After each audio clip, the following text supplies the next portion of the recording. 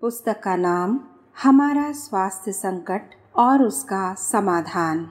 लेखक पंडित श्री राम शर्मा आचार्य। यह प्रगति का युग कहा जाता है।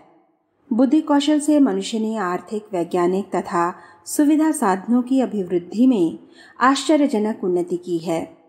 पर जहाँ तक व्यक्तिगत एवं सामाजिक जीवन की स्थिति का संबंध है, निश्चित रूप से हम पिछड़ते ही चले गए हैं। इस तथाकथित उन्नति ने मानवीय सुख शांति में अभिवृद्धि नहीं, कमी ही की है। सामान्य समझ के अनुसार होना यह चाहिए कि जितने सुविधा साधन बढ़ें, उसी अनुपात से मनुष्य की सुख शांति, प्रगति और समृद्धि का पथ प्रशस्त हो। किंतु वैसा देखने में नहीं आता। लंबे अतीत की बात जाने दें और 150 वर्ष पूर्व के जो व्यक्ति अभी जीवित हैं उनके बचपन में जो परिस्थितियाँ थीं, उनका विवरण सुने और आज से उसकी तुलना करें तो यही प्रतीत होगा कि इतने कम समय में कितना अधिक निषेधात्मक बदलाव हुआ है।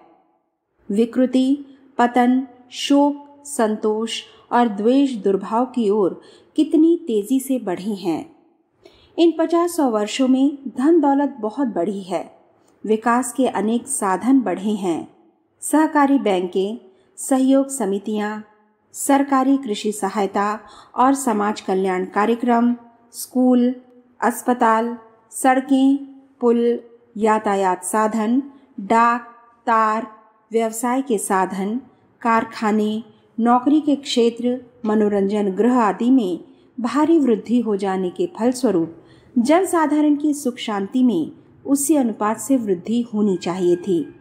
और आज का मनुष्य सौ वर्ष पूर्व वालों की तुलना में अधिक सुखी एवं समुन्नत दिखाई देना चाहिए था।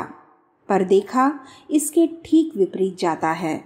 आर्थिक सुविधा के फलस्वरूप बढ़ी हुई चमक दमक और टीम टाम के अतिरिक्त और सभी दिशाओं में आज सूनापन, खोखलापन और अधः पतन दिखाई पड़ रहा है। स्वास्थ्य के संदर्भ में विचार करें तो इन दो तीन पीढ़ियों में ही जन स्वास्थ्य की बुरी तरह दुर्दशा हो गई।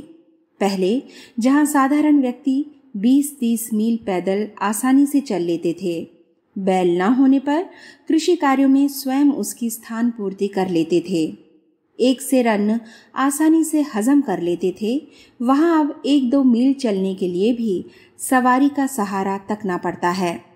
शारीरिक परिश्रम सहन नहीं होता।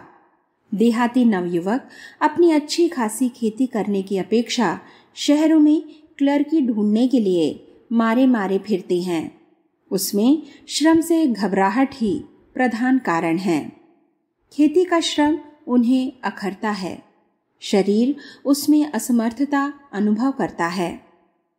यह अशक्तता इतनी व्यापक होती जाती है कि चार छः दिन के लिए कोई बुखार, खांसी का शिकार हो जाए तो संभलने में महीनों का समय चाहिए। जहाँ कुछ समय पूर्व लोग महीनों जूड़ी तिजारी का प्रकोप सहते हुए हल चलाते और कृषि कार्य करते रहते थे, वहाँ जीवनी शक्ति के अभाव में अब सामान्य रोगों का मुकाबला कर सकना भी संभव नहीं हो रहा है। अब इस पाँच पैसे की दवा में कोई रोग अच्छा नहीं हो सकता। सौ, दो सौ रुपया तो जुकाम, खांसी ले मरते हैं। फिर बड़ी बीमारियों के लिए तो हज़ारों की व्यवस्था किए बिना, सैकड़ों इंजेक्शन लगवाए बिना छुटकारा नहीं।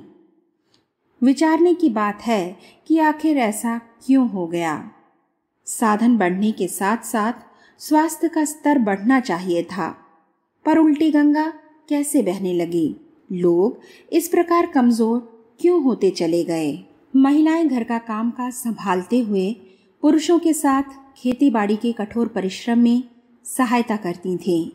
प्रसव होते रहते थे और किसी कष्टकर स्थिति का अनुभव न होता था। खाने को रूखा सूखा दाल दलिए जैसा भोजन, फिर भी निरोग और हृष्ट पुष्ट आज परिश्रम भी कम खाद्य पदार्थ भी मूल्यवान, सुविधाएँ भी अधिक, चिकित्सा के साधन भी बहुत। फिर भी महिलाओं के स्वास्थ्य बेतरह गिरते चले जा रहे हैं। रंग रोगन करके किसी प्रकार चेहरे का टुकड़ा ही कुछ आकर्षक सा बना रहता है। बाकी भीतर देखा जाए तो बिल्कुल खोखलापन। सामान्य दुर्बलता की शिकार, रक्त की कमी, मूत्र रोगों की व्यथा, यह आए दिन की शिकायतें हैं।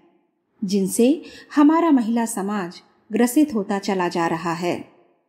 यही हाल बच्चों का है।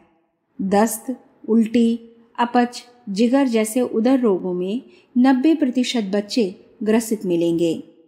दवा दारू के बलबूते किसी प्रकार ज़िंदा रह गए तो बड़े होने पर उनका कोई उज्जवल भविष्य नहीं बन पाता। विचारणीय प्रश्न है कि आखिर ऐसा उलट पुलट क्यों हो गया? सौ वर्ष के भीतर देखते देखते स्थिति में भारी अंतर आ गया। इससे अधिक पुराने समय के साथ तो तुलना की ही कैसे जाए। जिन शूरवीरों, स्वस्थ और समर्थ व्यक्तियों से हर घर शोभायमान था, उनका प्रताप ही देश को उन्नति के उच्च शिखर तक पहुँचाने में समर्थ हुआ था। सतयुग, त्रेता के पराक्रमी वीर नागरिकों की बात जाने दें और केवल पाँच हज़ार वर्ष पूर्व महाभारत काल के भीम, अर्जुन, अभिमन्यु, कर्ण, भीष्म, द्रोण, कंस, चाणूर जैसे योद्धाओं की ढूंढ खोज करें तो सारे इतिहास में उन्हीं का बाहुल्य मिलेगा। पृथ्वीराज आल्हा उदल राणा सांगा, शिवाजी जैसे बलवान व्यक्ति तो कुछ शताब्दियों पूर्व तक मौजूद थे। अब वैसा कुछ भी दिखाई नहीं पड़ता। सब जगह खोखलापन ही दिखता है। हकीम डॉक्टरों की दुकानों पर, अस्पतालों में मक्खियों की तरह भिनभिनाते और सड़ते, मरते असंख्य नर नारियों के समूह कहीं भी देखे जा सकते हैं। ऐसा विचित्र परिवर्तन कैसे हुआ? स्वास्थ्य की बहुमूल्य निधि इतनी तेज़ी से, इतनी जल्दी, इतनी बुरी तरह कैसे जुड़ गई, यह विचारने ही योग्य बात है। इस पर हमें गंभीरतापूर्वक कुछ सोचना ही चाहिए। मनुष्य जैसा बुद्धि प्रधान प्राणी अपने कर्तृत्व, पुरुषार्थ और विचारणा के आधार पर लाखों वर्षों से निरंतर आगे बढ़ता चला गया है। एक एक करके प्रगति की अनेक मंजिलें उसने पूरी की हैं। वह प्रकृति से लड़ा है, परिस्थितियों से लड़ा है, कठिनाइयों से लड़ा है और इस संघर्ष में आश्चर्यजनक स्तर की सफलता प्राप्त करता चला आया है।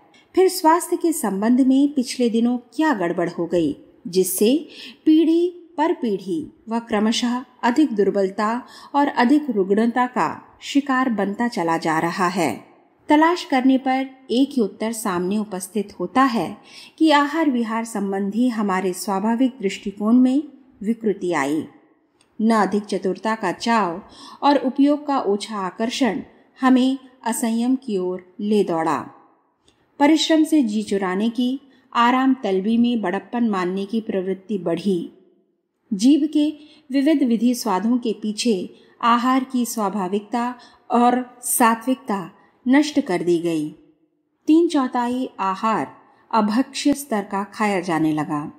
समय, मात्रा, स्वच्छता की बात ही भूल गए। जिह्वा का चटोरापन जिधर नचाता रहा, कठपुतली की तरह नाचते रहे। व्यंजन खाने वालों ने अपने को भाग्यशाली माना।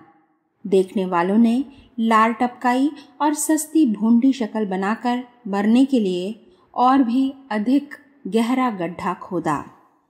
सस्ते अभक्ष्य तैयार करने वालों ने प्रतिस्पर्धा में एक से अधिक बढ़कर विष उगाए।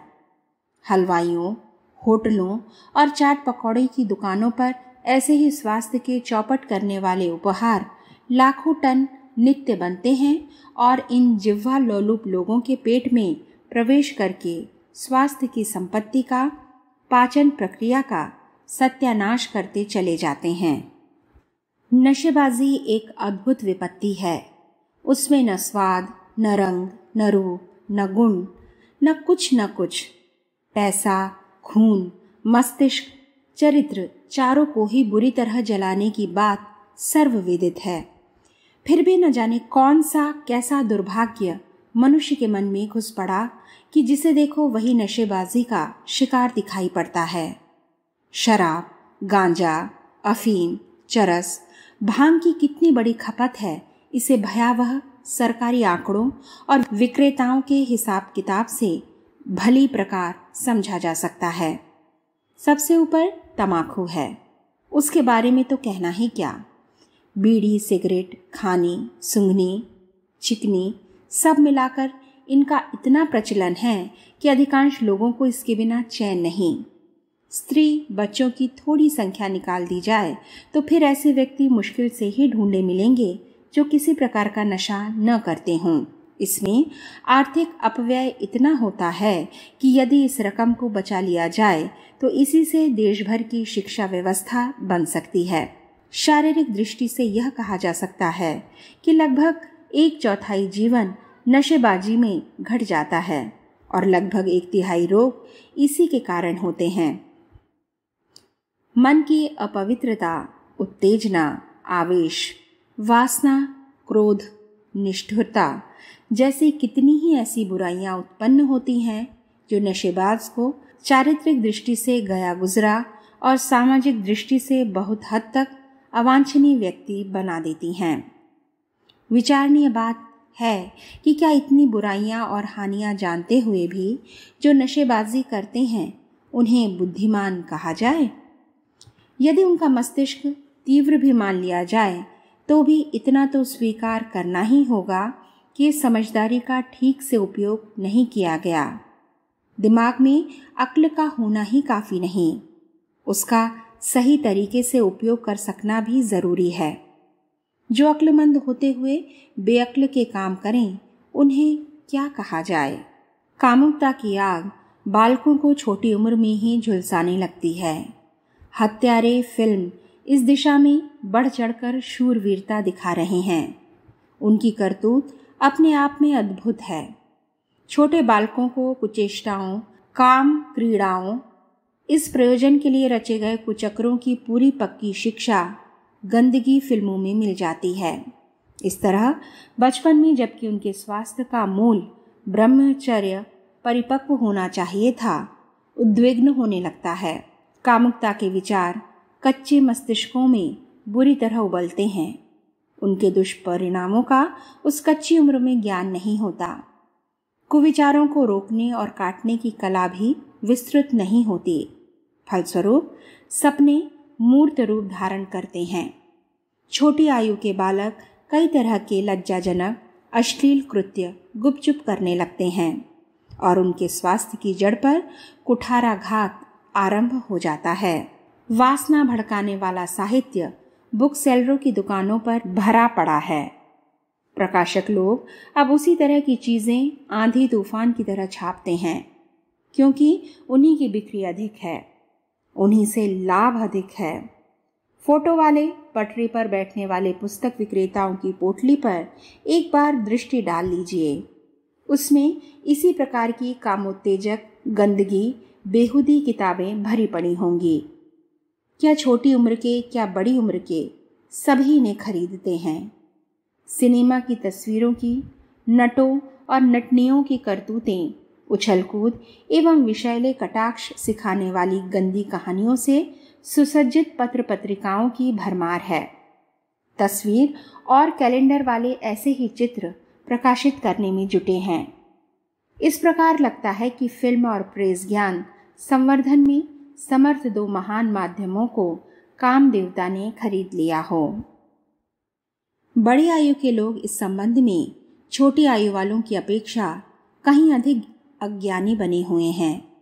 विवाह का अर्थ कामुकता की अनियंत्रित पूर्ति माना जाने लगा है।